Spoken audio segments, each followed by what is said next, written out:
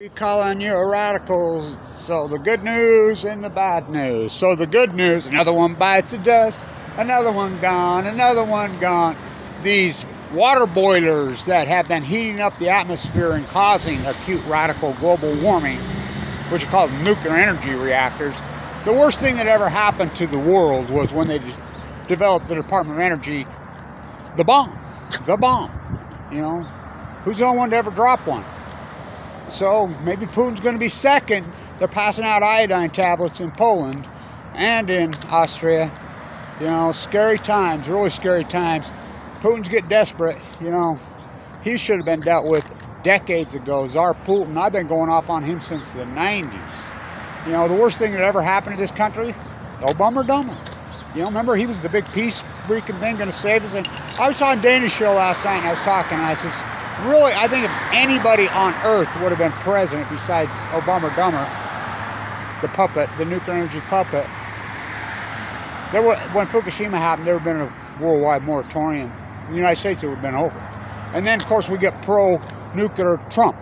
So you got the two most pro-nuclear energy puppets in history became back-to-back presidents. Of course, sliding Biden, he was the vice president under, I mean, this is the trilogy, the Fukushima I mean, talk about war criminals. So, the reactor in Belgium shuts off today. You know, just in a few hours. I'm going to do a little celebration. You know, I got my Belgian beer that I usually drink, my elephant. So I'll have one.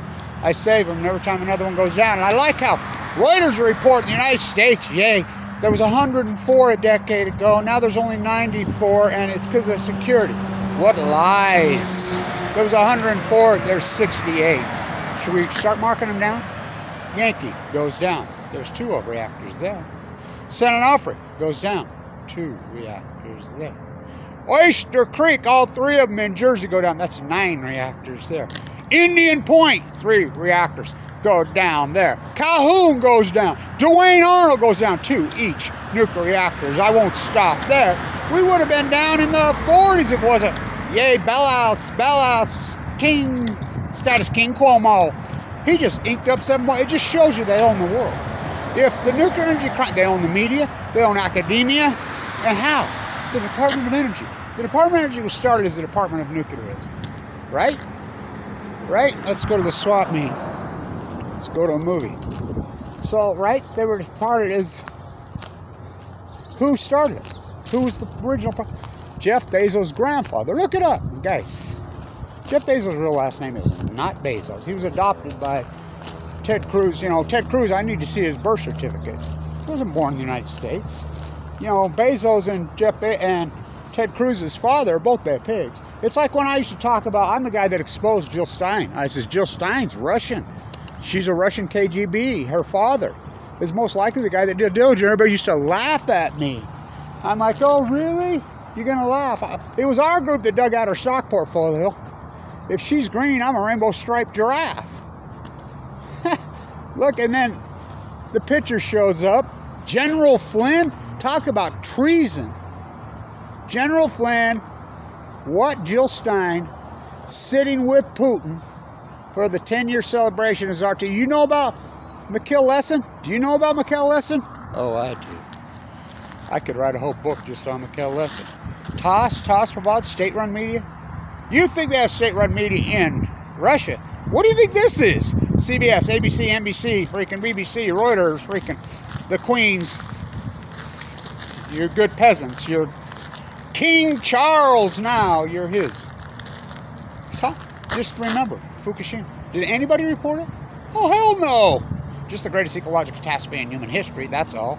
Full blown out nuclear meltdown. So another one's gone, another one's gone. So worldwide, we had 410.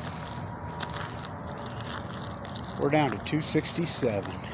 Now, everybody, oh, China. Remember when China was going to put on a fast breeder, one a month starting in 2010? Guess how many they put on? Remember their generational five, Westinghouse, bankrupt. Remember Chicago Bridge and Iron, bankrupt. Remember Westinghouse, bankrupt. Remember Riva, Riva, Riva, bankrupt. The whole nuclear energy crime syndicate goes down because the elephant in the room, deep in their subconscious, Kevin Blanch showed. You don't think it's there. But it's there. It's like people walk up to me all the time. They're like, oh, uh, uh, you know, You all act like you don't know. As the nuclear energy cancer slowly grows. Let's go to the drive-in. So another one's gone, another one's gone. Global, especially acute global warming. Okay, let's just chalk it all up, right? We're gonna chalk it up. We're gonna chalk it all up. Okay, the predictor by Kevin Blanch for Hamlet and Cassandra got together, had a baby. He sees for miles and miles. Let's review. It's going to cause a heat bubble over the western United States. This is March 2011. They're lying, they're lying, and lying. There's a full blown out meltdown. It's never happened before. It's going to put an energy into the biosphere, unforeseen in the history of mankind. We don't even know what it is. Didn't happen to Mayak, didn't happen to Chernobyl, didn't happen to oh San Sena. Don't you cry for me. I came to Utah with a load from Santa What's that? I don't ask. All these nuclear disasters, Shock River, all of them, it never happened. These are full corn out meltdowns. I will quote Albert Einstein himself. Hell of a way to boil water. Kevin Blanch, hell of a way to boil a planet. At some point, we're going to get a meltdown, and this is going to release uh, energy into the biosphere that we have no clue what it is. It will mutate, it will cause all kinds of death and destruction, stuff we will not even understand including viruses, blah, blah, blah, blah. Albert Einstein. Well, will humans adapt? Well, what about the animals, Einstein says. Well, and then he goes back and humans are animals. Albert Einstein. Yeah, humans will adapt in 50 to 100 generations. So we're just going to chalk it up to quench just the greatest energy release. Oh, God, that energy in the Pacific Ocean couldn't do it. I remember walking the coast of California, 60,000 pound well, and I took my roller out and it was dying. I had my hands on its head as it died.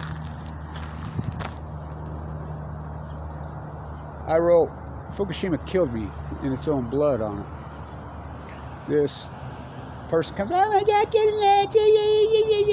there. Radiation can't kill a 60,000 pound well. I said, I never said it did.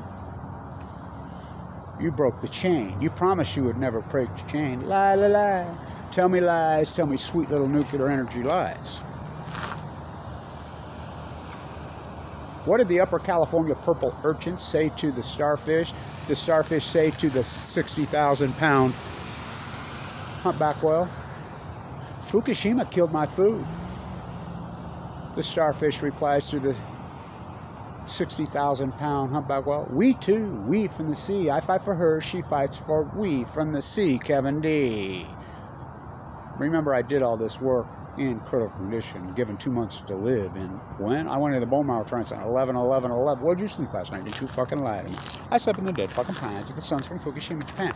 Oh, they always shine. TikTok, Diablo Canyon, nuclear energy clock. You're gonna chalk it all up to coincidence. It's gonna cause a heat bubble. Did it? Did it cause a heat bubble over the western United States like Kevin Blanch predicted? It's the greatest drought in 1,200 years. That's all. Just like Kevin Blanch predicted. Great Salt Lake gonna go freaking dry? It's coming up on 10 years. My Spiral Yeti video, how historic is that? It's going to wipe out the tide pools first. Starfish in the upper California will go, did it? Did it? They're just down 99%. Just my tide pool work alone. Me oh my. Nobel Prize. The salmon will fucking begin to collapse. The steelhead will collapse first because they go to sea. They're called half pounders when they come back the first time. Go see one, two years. Did they? Did they? On cue, 99%. The Chinook salmon will collapse in 2016 because they go to sea for five years. Record returns, 13, 14, 15. Did they? Did they? On cue. So that's how great science works. You can deny it. These marine biologists, NOAA, you know, San Diego State, Cal Berkeley, freaking Weber State University, scientists, biologists, zoologists, they should be all locked up. They're criminals. You know, they're criminals. They committed fraud. You know, to ignore the greatest ecological catastrophe in human history, and history will play it out that way. It'll take a while, but history will play it out. You had one guy, the greatest PhD opportunity